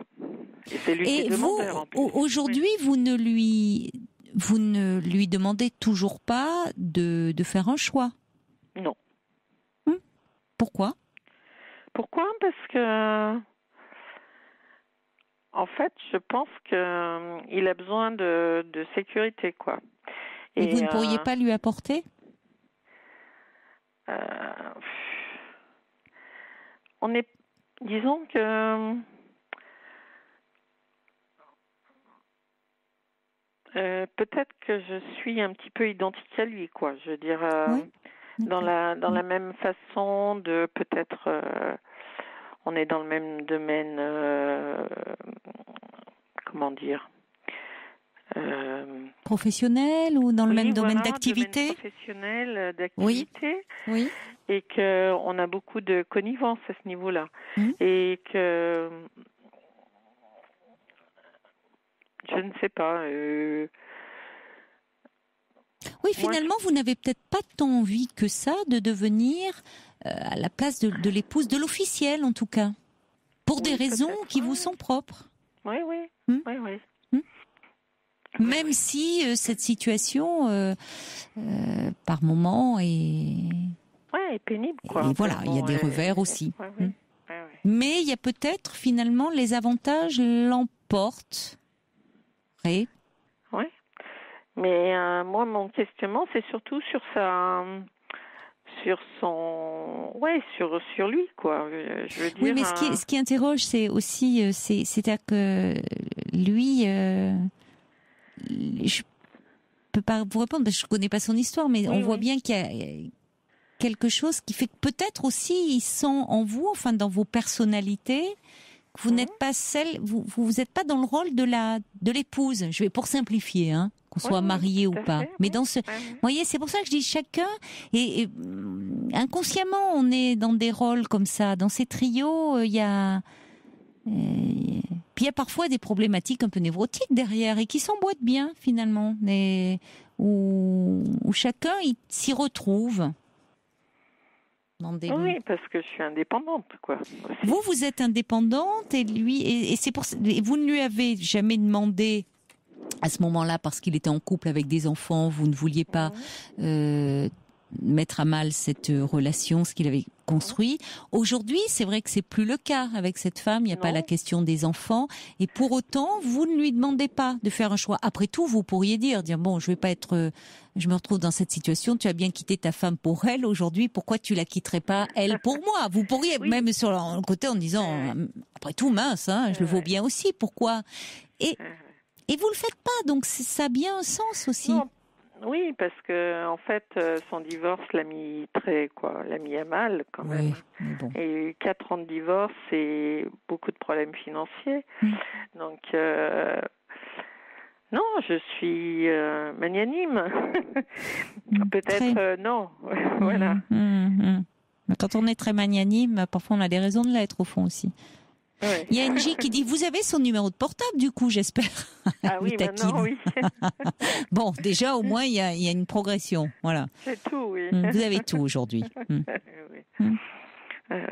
Peut-être que finalement, vous vous dites aussi, au fond, que cet homme fait un meilleur amant, amant, et pas seulement, j'entends bien qu'il y a une relation aussi faite de complicité, d'échange, une véritable euh, histoire. Hein euh, je ne mets pas ça que sur la dimension physique. Vous vous dites, et, je pense à juste raison que cet homme fait un meilleur amant, amoureux en tout cas, que mari. Oui, peut-être, je sais hmm. pas. Peut-être que dans le rôle du mari, il y a quelque chose qui où il se sent enfermé, où il se sent. Ça fait quand même 30 ans que je le connais. Ben oui, vous vous connaissez très bien. Hmm. Eh vous le connaissez certainement mieux peut-être que que les femmes avec bah, qui il a vécu Enfin, en tout cas, différemment. Vous connaissez d'autres aspects de sa personnalité. Mieux, je ne sais pas, mais d'autres aspects. Hmm. Vous, vous n'avez jamais été mariée, Jeanne? Vous n'avez jamais une... Euh, si. Mais oui, bien sûr, puisque vous m'avez dit je m'y perds. Mais oui, c'est tellement compliqué. Bien sûr, vous étiez vous mariée en plus, c'est ça qui est intéressant. vous étiez mariée au début de votre rencontre et vous, vous avez divorcé. Oui. Oui, oui, oui. Ouais.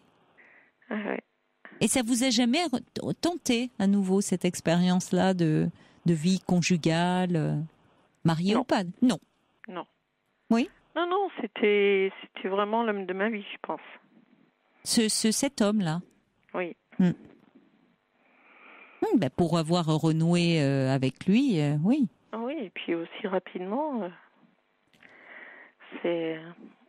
Oui, c'était comme si, effectivement, c'était. Hmm. Il est très disponible. La parenthèse de 10 ans a été effacée. Oui, c'est ça. Vous vous êtes retrouvés d'emblée. Puis entre-temps, la colère, vous, euh, la, la rancœur que vous, on comprend que vous pouviez éprouver, euh, c'était, avait disparu. Hmm. Oui. Bon, restez attentive, hein, pour qu'il n'y en ait pas quand même une autre qui passe là. vous dites qu'il est plus calme aussi, il a changé. Oui, il a changé. Oui, oui, ça l'a un peu calmé cette histoire. Non, non, mais je pense que vous vous connaissez très bien l'un et l'autre. Bah alors écoutez, euh, profitez bien de ces belles parenthèses qui s'ouvrent, hein, certainement encore pour dix longues années, au moins, au moins, voire plus, 20 ans. Je vous embrasse. Au revoir Jeanne. Au revoir.